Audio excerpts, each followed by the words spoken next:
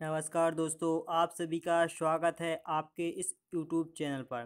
तो दोस्तों, चलते हैं, आगे बढ़ते हैं और इस वीडियो में जानते हैं उत्तर प्रदेश के 2018 तक के राज्यपालों की सूची के बारे में। तो दोस्तों, सबसे पहले बात करते हैं उत्तर प्रदेश के पहले राज्यपाल।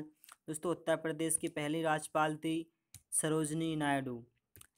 इनका कार्यकाल था पंद्रह अगस्त उन्नीस सौ सैंतालीस से एक मार्च उन्नीस सौ उनचास तक। और दोस्तों, यह सरोजनी नायडू भारत देश की प्रथम महिला राज्यपाल भी हैं। और दोस्तों, इसके बाद आगे बात करते हैं। इनके बाद अगला राज्यपाल का कार्यभार संभाला बी पी मलिक जी ने।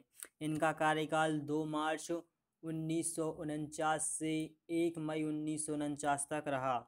फिर इनके बाद राज्यपाल बने और मसजी पेरोशा मोदी। इनका कार्यकाल दो मई उन्नीस सौ उनचास से एक जून एक जून उन्नीस सौ बावन तक रहा।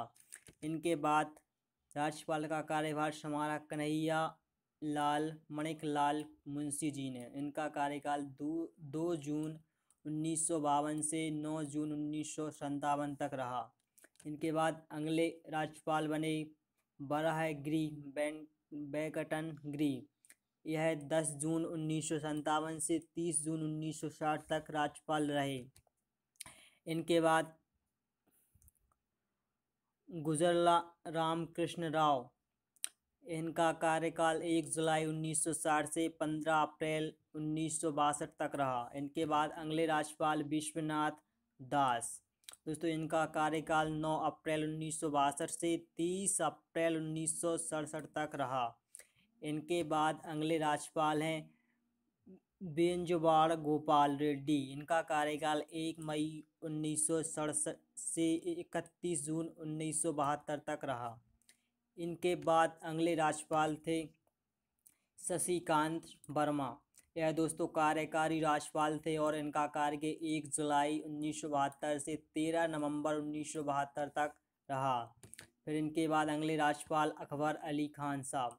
इनका कार्यकाल चौदह अक्टूबर उन्नीस सौ बहत्तर से चौबीस अक्टूबर उन्नीस सौ चौहत्तर तक। सॉरी दोस्तों, चौदह नवंबर से, चौदह नवंबर उन्नीस सौ बहत्तर से चौबीस अक्टूबर उन्नीस सौ चौहत्तर तक इनका कार्यकाल रहा।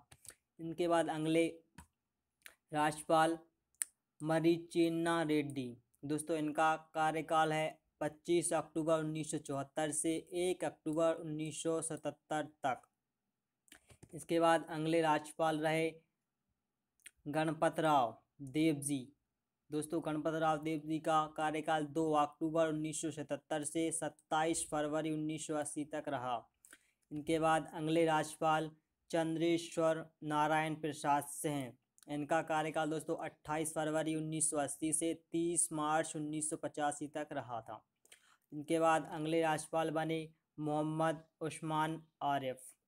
इनका कार्यकाल 31 मार्च उन्नीस सौ पचासी से 11 फरवरी 1990 तक रहा था। इसके बाद अगले राज्यपाल बने बी सत्यनारायण रेड्डी। दोस्तों, इनका कार्यकाल 11 फरवरी 1990 से 25 मई उन्नीस सौ तिरानवे तक रहा था। इनके बाद अगले राज्यपाल बने मोतीलाल वोरा।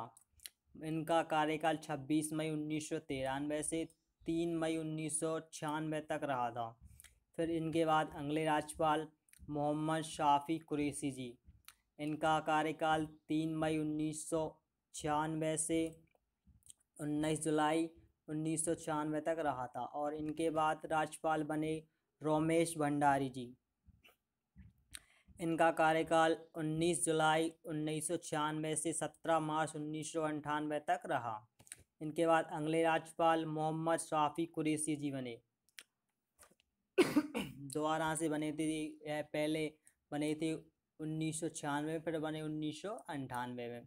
फिर इनका दोबारा से कार्यकाल सत्रह मार्च उन्नीस सौ अंठानवे से उन्नीस अप्रैल उन्नीस सौ अंठानवे तक रहा।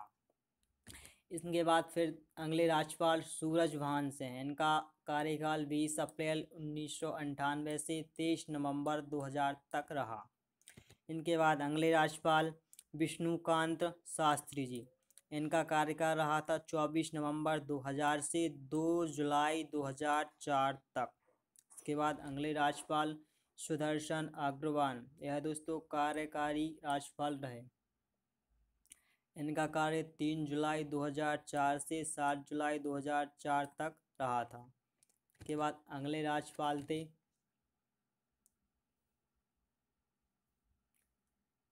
टी बी राजेश्वर तो सर टी वी राजेश्वर का कार्यकाल आठ जुलाई 2004 से सत्ताईस जुलाई दो हज़ार नौ तक रहा था। के बाद अगले राज्यपाल बनवारी लाल जोशी, इनका कार्यकाल 28 जुलाई 2009 से 17 जून 2014 तक रहा।